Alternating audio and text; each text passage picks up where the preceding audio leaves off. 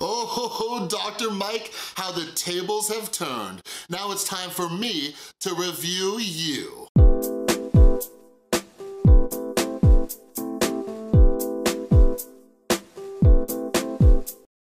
What is up, everybody? This is Chris from The Rewired Soul, where we talk about the problem, but focus on the solution. And if you're new to my channel, my channel is all about mental health, and what I like to do is pull different topics from the YouTube community to try to teach you how to improve your mental and emotional well-being. So if you're into that, make sure you subscribe and ring that notification bell because I make a ton of videos, and I have such exciting news. So much exciting news, all right? For all of you Rewired soldiers out there, one of our amazing followers, SabiLew, I think I'm saying that right, she created a Discord server. And Tristan and I hopped in there last night. I was tweeting about it. I sent it out on the mailing list.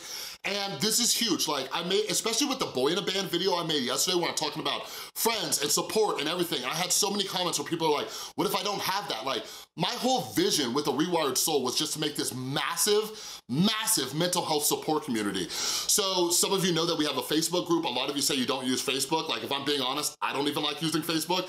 So SabiLew started the Discord server and we already have like over 100 people in there. So come in, join the Discord server. It's gonna be linked down below. Um, I use it on my computer. Tristan's been using it on her tablet. So if you don't know what Discord is, like you can download it on your phone or on your computer. Come join us. There's a ton, a ton, a ton of supportive people in there and we're gonna be doing some cool stuff. There's different chat rooms and everything. So come on in, the link will be down in the description. I will pin it in the comments below as well. All right, so this Gabbie Hanna and Dr. Mike video, this was a widely requested video. I've gotten DMs, I've gotten tweets, I've gotten all sorts of stuff. People were talking about it in the Discord. And I've had a lot of people request me talk about Gabbie Hanna and I just haven't really checked out her stuff. Like I listened to her song, that she had not too long ago and people say she talks a lot about mental health. But anyways, like when, when something gets like widely requested, I'm like, okay, I'll check it out. So I, I checked this video out and it's Dr. Mike and I'm, you know, I know a lot of you out there don't trust doctors and you don't trust therapists and hi, welcome to the club. But let me tell you, let me tell you, spoiler alert, Dr. Mike is the man. Like, he just gained a new subscriber in me. But in this video, I wanna break down some of the things that he talks about because they're so important. And I just wanna elaborate a little bit more on a few of the points he made. Like, for a big chunk of this video, all right, they talked about how mental health and physical health are so closely related. And he gives so many good tips so many good pieces of advice, and it'll also help you find a good therapist or a good doctor, all right? So let's get started with this clip. And it wasn't until I started talking about it and just kind of ripped myself open and gave it to the world that What was I the response healed. like from the community? It was great. It, I mean, first of all, the YouTube community who started talking to me about it was like, thank you so much for talking about this. I've never been able to, but you put it into words.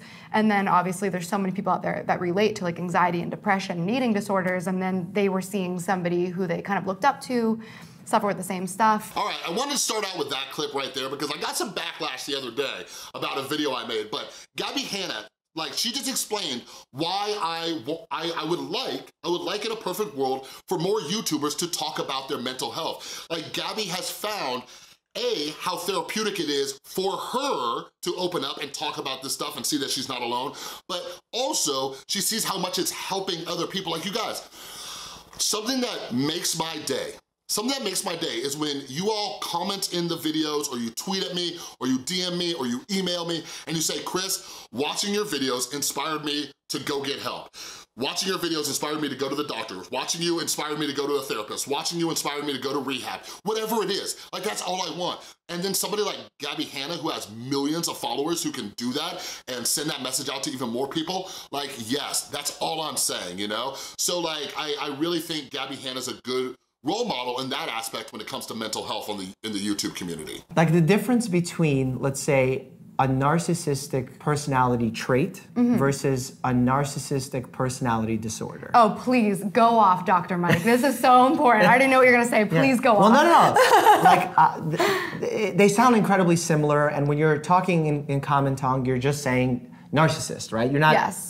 defining them. But in reality, there's a small but very important difference between the two. So things got a little awkward right here. I was like, ooh, like they're kind of dancing around and stuff, and I was wondering when they were gonna bring up the Shane Dawson thing. But yeah, real quick, this is something I talked about in one of my first Shane Dawson videos. Like, he, he explained like, you know, why it's important to talk about narcissistic traits versus narcissistic disorders, right? Same thing with sociopathic traits and sociopathic disorders, right? And one of the things is when it comes to mental health and the language we use, we, we run around just labeling people left and right. Like, um, so many of us have certain traits, but we don't have this actual disorder that's affecting our life in a negative way.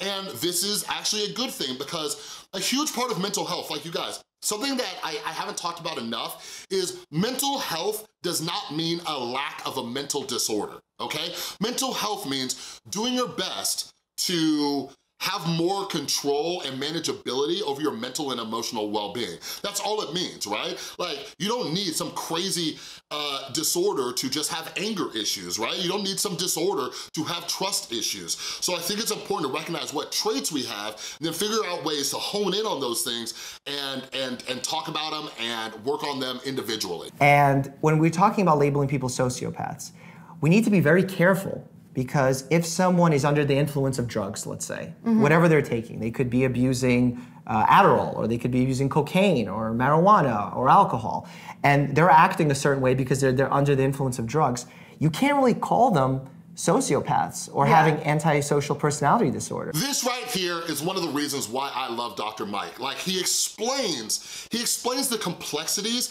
of diagnosing a mental illness, okay? He talks about how like there's there's so much, like it doesn't, it's not just one sit down with somebody. Sometimes you gotta get to know somebody. You gotta sit down with multiple sessions. Like that's why, you know, kind of bumps me out when I see people like finally go to therapy and they thought they were gonna get fixed in one session. You know, like most of us, most of us out there, like, we don't trust people. We don't open up. Like, we don't fully open up to people and like meeting somebody for the first time and opening up to them fully in a first hour, like what?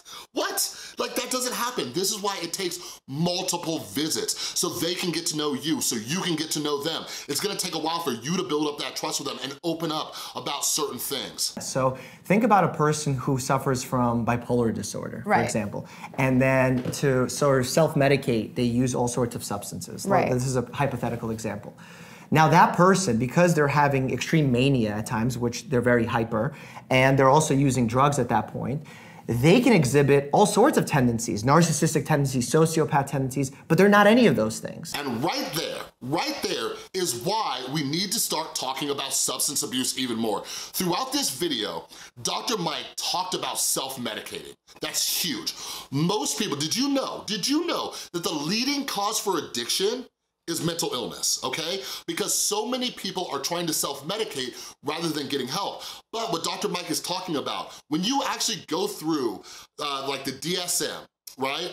Like, you have to, you have to look for substance abuse issues before you diagnose anything else. And the analogy he made about bipolar disorder is perfect. Because if somebody's in a manic state and like, say they're like using meth, like, it's gonna be really hard to diagnose any type of illness. So like, for example, working in the drug and alcohol treatment field, we cannot diagnose somebody until they're fully detoxed, right? Like it's hard to see if somebody has a mental illness, especially because any substance that you're withdrawing from is going to have symptoms of like anxiety, depression, irritability, insomnia, all sorts of things, right? So until somebody is like medically stable, right, or their mental illness is under control, it's really hard, or uh, uh, their withdrawal symptoms are under control, it's really hard to give them a proper diagnosis. Symptoms like anxiety. If you think about what anxiety is, let's take social anxiety. It's a fear of something that's not actually life-threatening, right? Like if you go hang out with friends, no one's gonna kill you. I mean, Uh, unless there's a crazy circumstance. But generally, no one's going to kill you. Where'd you grow up? Because my town. Brooklyn. yeah, know, so maybe. But in general, no one's there to harm you with your yeah. friends. But people that have social anxiety create an anxiety. Their mind creates this anxiety, and it doesn't mean that there's something wrong with them. Their mind is protecting them by causing them to worry about that social anxiety instead of their repressed emotions. I love this. I love this part so much. This was such an amazing description of social anxiety or anxiety as a whole. Like, I was just watching a video yesterday about how, you know, we have to medicate anxiety disorders and like, no, you guys, you need to understand how important therapy is. Like, Dr. Mike, what he's explaining is, is like, this is the body's way of not dealing with the real stuff, right? So you have things that happened in your childhood or past relationships, and what it's doing is, it's causing you issues when you go out in public, it's causing you issues when you go to work events, it's causing you issues when you're meeting new people, right? Because of something that happened in your past. That's why you go through therapy and you get down to the root of the problem. Like once you start tackling the root of the problem, everything, everything in your life starts getting better. But the thing is, is that so many of us are spending so much time running away from those thoughts, those memories, and those emotions that we're having um, issues manifest in all sorts of different ways, like social anxiety. Because yeah. those seem to be so dangerous that let's have them worry about something not so dangerous instead. But it also does the same thing from a physical aspect. Let's have this person have a muscle spasm and have some back pain right now. Oh, wow. And they'll be thinking about their back pain, how to treat it, what doctor to see, they'll complain about it, and yeah. they won't be thinking about their repressed emotions. And right now, right, right here, like I know Dr. Mike is dreamy, but this right here, this is where I fell in love with Dr. Mike.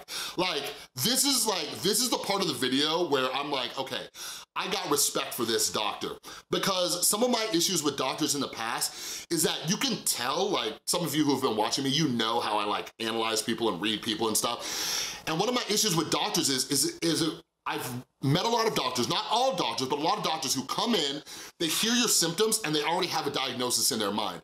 And what Dr. Mike is trying to explain is there's so many mental health issues that can cause physical issues, okay? Like, if you're struggling with anxiety, you can get heart disease. If you're highly stressed, you can struggle with these things. Mental health problems can cause physical problems. That's one of the reasons why I try to advocate for better mental health care in the United States, because it's been proven that when we treat people's mental health, physical health gets better as well. So what Dr. Mike's saying is, as a doctor, he tries to rule out anything like, you know, deadly that might be going on, but at a certain point, he sits down and has a conversation with you about it. And this is important, like I have personal experience with this. Like you guys, when my mental health was a mess, and this is something I actually forgot about because it's been so long, um, when my mental health was awful, I was a constant stress and anxiety case, I would get stress migraines. Like it, it was so painful that there were times at work when I had to run into the bathroom and throw up because the pain was so bad. But guess what? Since I started working on my stress and my anxiety, I haven't gotten one of those uh, those stress migraines in so many years now. So many years. So like, I know how this stuff happens because I've been through it. But this is another reason why it bothers me because so many people like laugh or gawk at like meditation, right? When we talk about using meditation or other holistic methods to work on your physical ailments. No, you guys, the mind and the body are connected. They're all in the same vessel, okay? If you work on this thing, other things start to calm down. Like Dr. Mike said, like certain mental health problems can cause rashes, coughing, aches, pains, right? Like why do you think people get massages when they're stressed out? Because the body responds to how your mind is acting.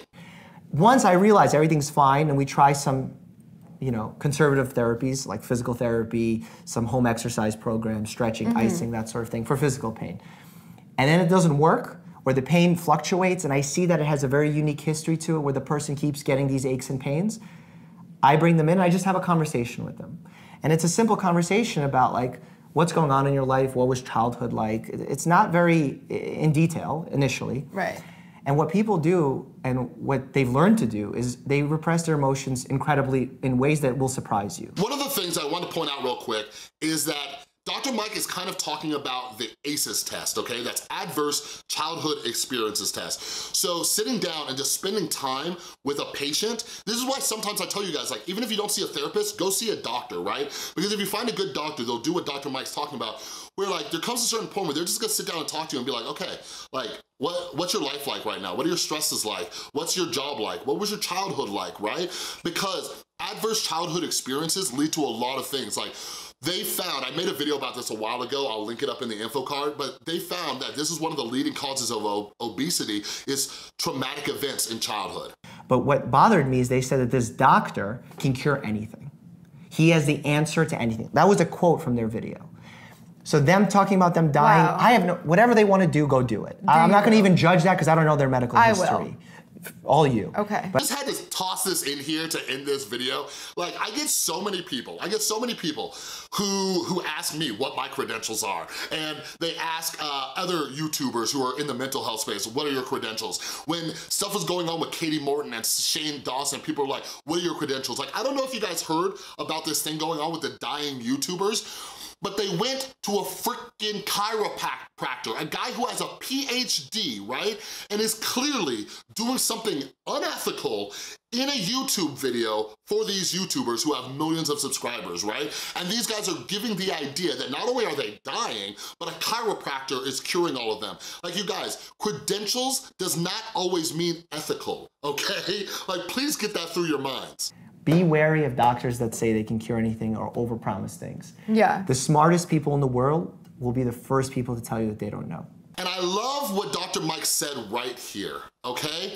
Like, this is something that I think is huge for all professionals. Not, even, not, not even professionals, people as a whole. Like, my life started getting better when I started realizing that I don't know that much. Like Dr. Mike says, when you get a PhD, you realize that you have more questions than you do answers. Like, humility is like one of the main things that makes somebody a good doctor or a good therapist, you know, because they don't think they have all the answers. Like that is why we have a Discord server. That is why we have a, a, Facebook group. I do not have all the answers, right? I have a very small, small portion of answers, but when you connect with other people who have been through certain experiences, they might be able to give you better advice. Like for example, some of you asked me to talk about certain mental health topics, and I'll be honest with you, there's certain things that I've stayed away from because I do not have that much knowledge about them. That's why I want you to join the Facebook group or the Discord and find other people who can relate to that experience because they might have way better suggestions than I could ever offer you